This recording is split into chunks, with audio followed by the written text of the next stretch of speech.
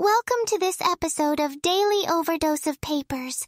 Today, we will be talking about REFT, Reasoning with Reinforced Fine-Tuning, by Trung Quoc Luong and colleagues from ByteDance Research. Let's warm up our neurons with the big question. How can we make large language models reason better?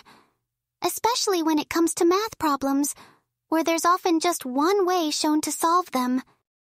Previous work has focused on supervised fine-tuning using the chain of thought approach, but it seems this method didn't invite our models to the generalization party. Our paper introduces a new guest to the scene, reinforced fine-tuning, or REFT. It's like giving the model a workout with different reasoning paths, making it stronger and more flexible. REFT starts with a warm-up of supervised fine-tuning, and then moves on to online reinforcement learning to explore a variety of solutions without needing extra training data. How efficient is that? The experiments were quite a show, with REFT lifting heavier weights on the GSM-8K, MathQA, and SVAMP datasets than its SFT counterpart. Stronger generalization muscles indeed. We'll dive into the methodology, the experiments, the results with a curious mind, ready to see how REFT flexes its newly developed reasoning capabilities. Now, let's get technical.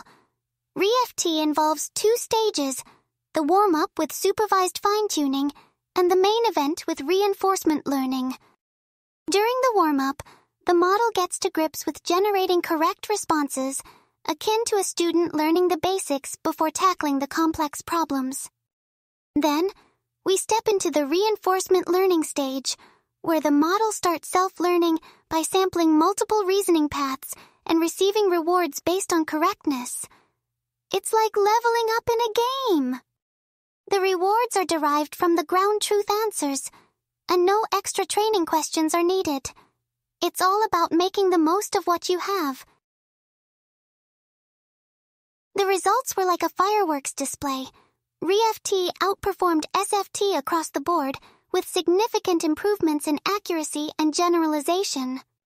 In fact, REFT didn't need any extra annotations or augmented training questions, which is quite impressive, don't you think? Even when paired with techniques like majority voting and reward model re-ranking, REFT models stood strong, showing they're compatible with other strategies too.